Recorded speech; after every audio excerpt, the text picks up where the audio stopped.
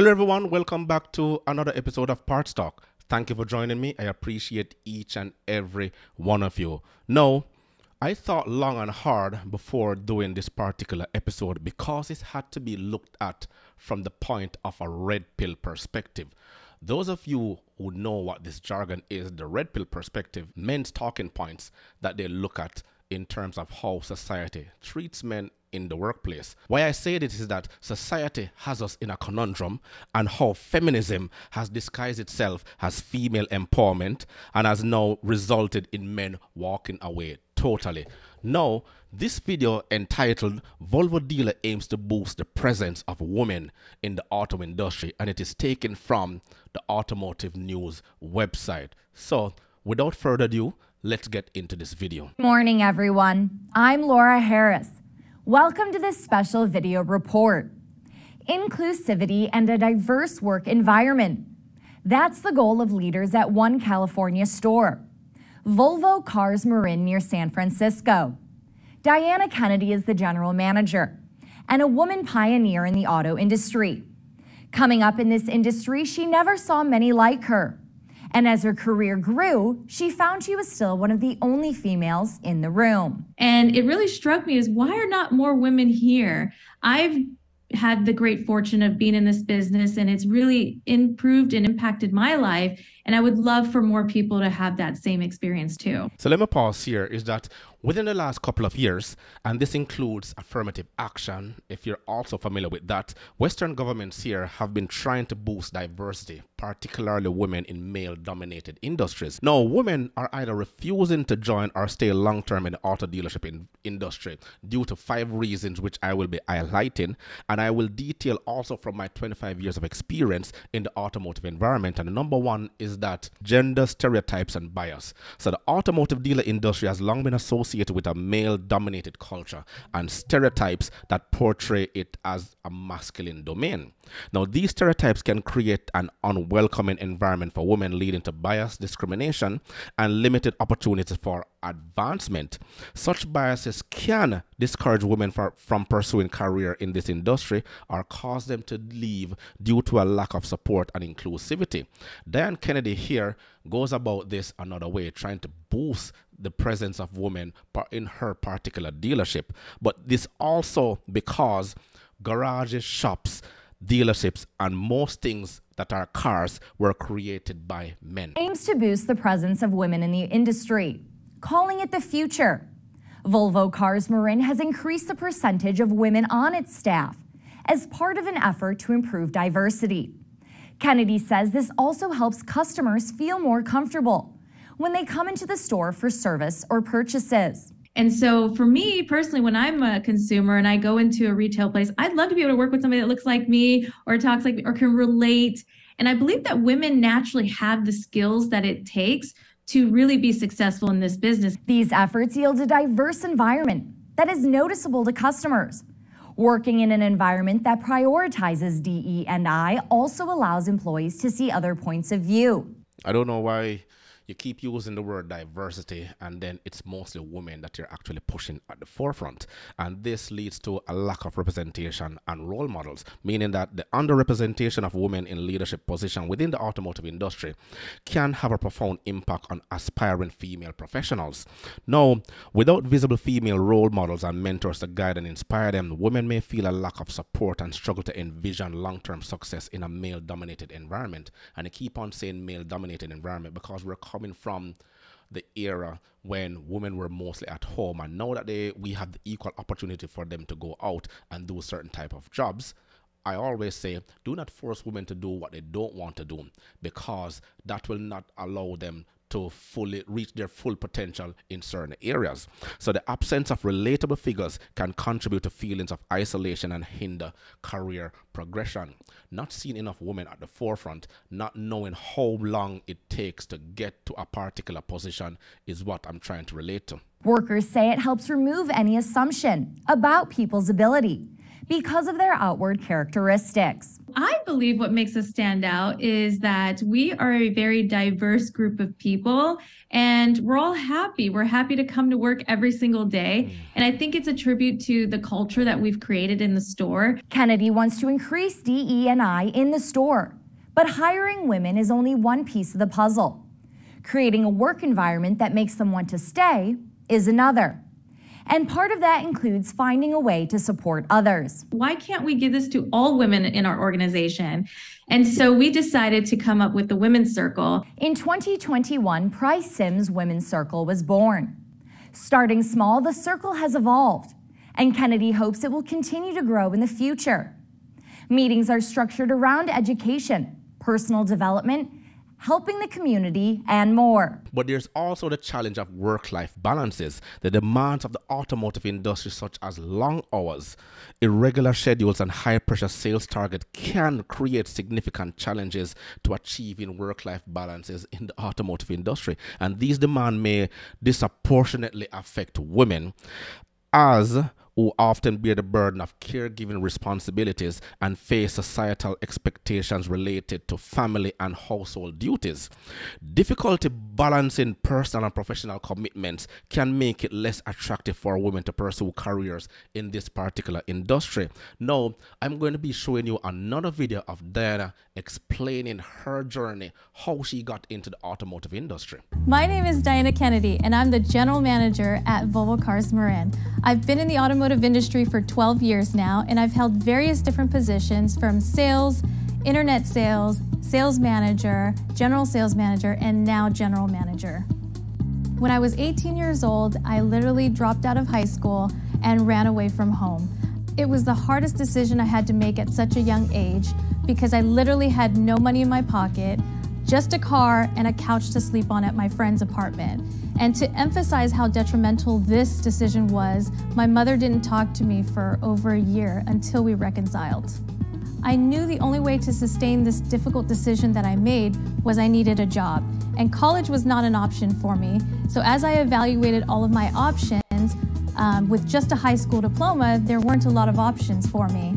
I actually took two years of automotive in high school at vocational school that was offered to us.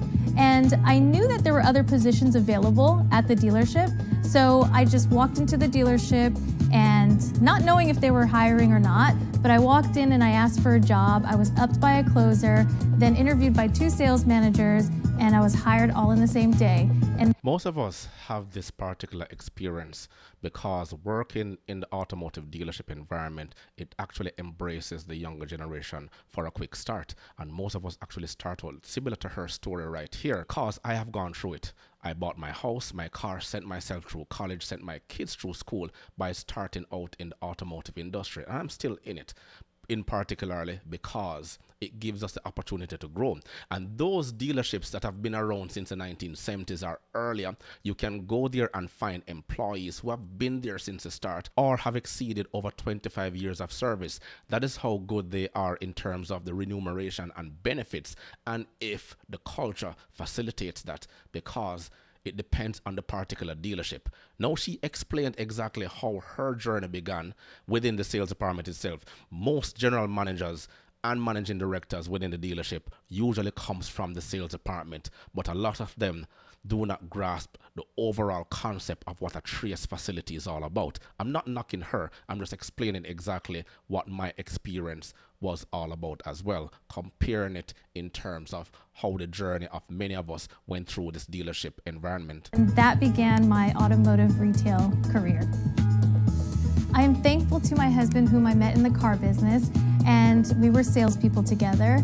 We now have two children together, and we didn't work together for long. Um, it was tough on the both of us with the amount of hours that we worked to be able to have that work life balance and take care of our kids.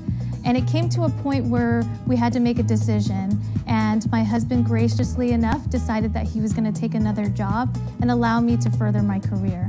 A lot of families, believe it or not, were started through workplace relationship, workplace romances, which actually led to marriages and starting families. A lot of our very existence can give praise to that. Some worked, some did not, but everyone has their own stories. However, if you can see here from the red pill perspective, her husband actually stepped back and allowed her career to blossom while he played that supporting role. Then comes the Price Simms Women's Circle.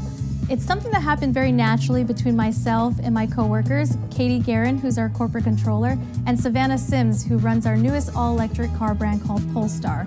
We all share an appreciation for the automotive industry and how it's changed our lives and has given us the life that we all have today, and we're very blessed to have. Our mission is to educate on opportunity and inspire personal development through mentorship, discussion, and experiences within our community to better the lives of women throughout Price Simms.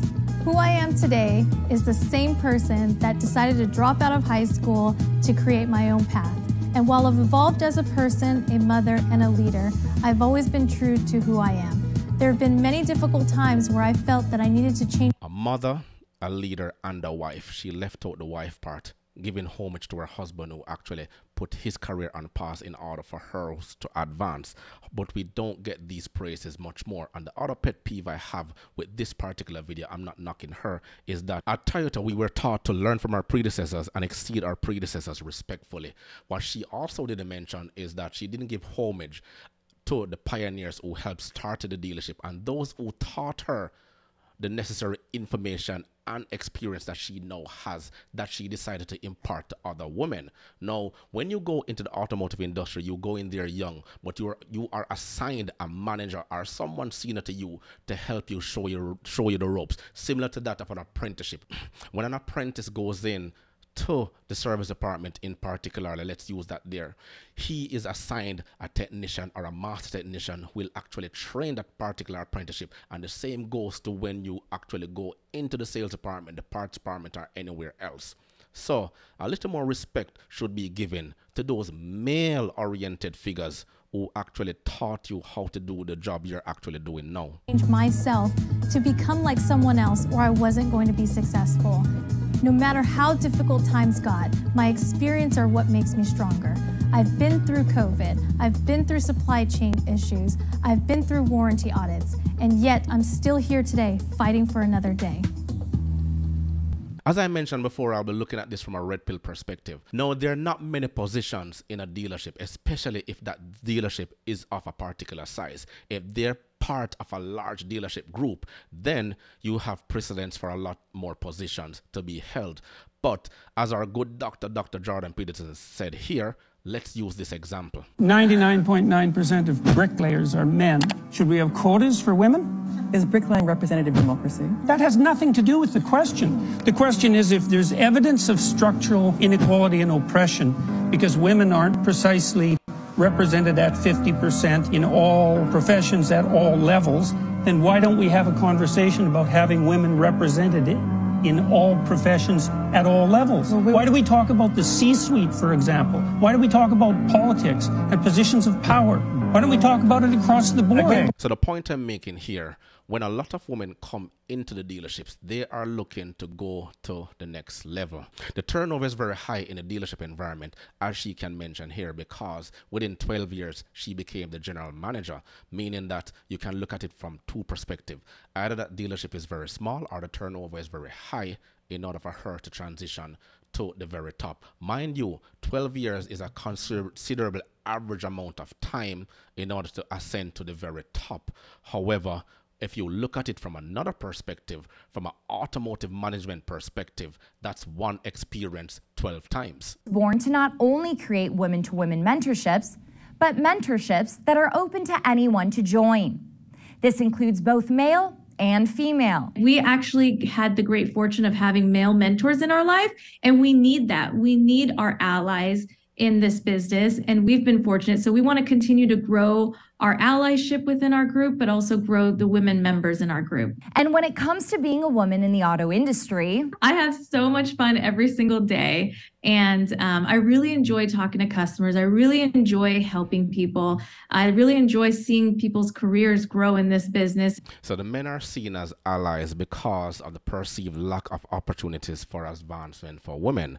So the final point I wanted to make is that the perception of a limited career advancement opportunities can discourage women from joining or staying long term in the automotive industry. The turnover is very high in the automotive industry and it's a very ungrateful industry industry. I'm speaking from experience. So if women perceive that their potential for growth and upward mobility is restricted due to systemic biases and glass ceilings, may, they may opt for industries that offer more equitable paths for pro for career progression.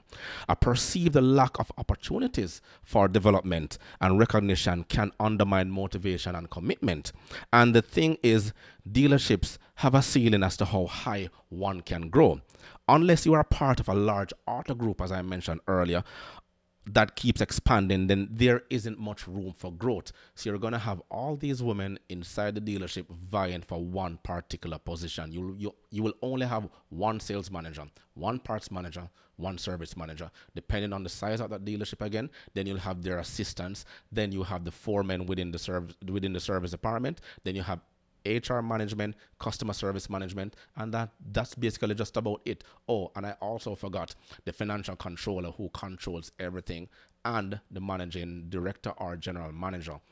Dealerships usually comprise of between 50, 30 to 50 individuals, again, depending on the size. Large dealership groups, one dealership may have over 100 employees, but as the wheels turn, they have to constantly be looking at the KPIs, the key performance areas, the key performance indicators, the benchmarking, the gross profit margin, their throughput, their CPUs, their capacity, everything else under the sun in order to maintain and fulfill the dealership environment itself because the, as the economy turns, so does the profitability of that particular dealerships. So by saying all this, it's crucial to address psychological and behavioral factors to create an inclusive and supportive environment that encourages women's participation and long-term engagement in the automotive industry. But again, why force women into positions that they normally don't want to do?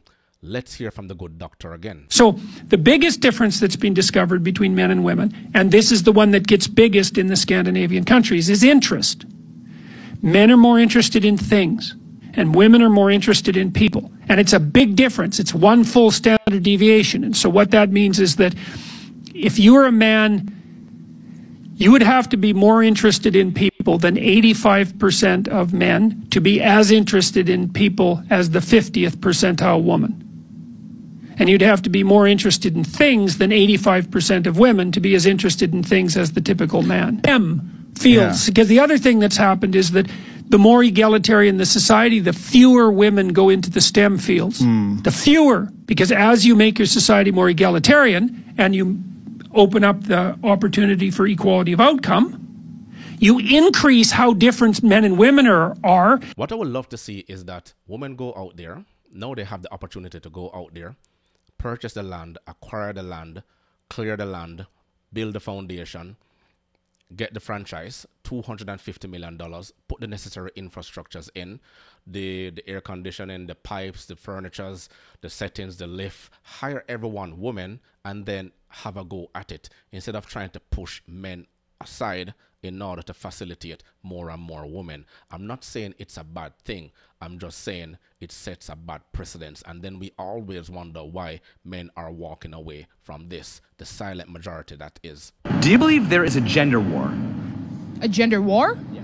Absolutely. Feminism is killing this country. Can you be more specific? Feminism has taught us to hate men and to fear men because capital profits off of my fear as a woman. If I'm afraid of men, they can make a profit off of that.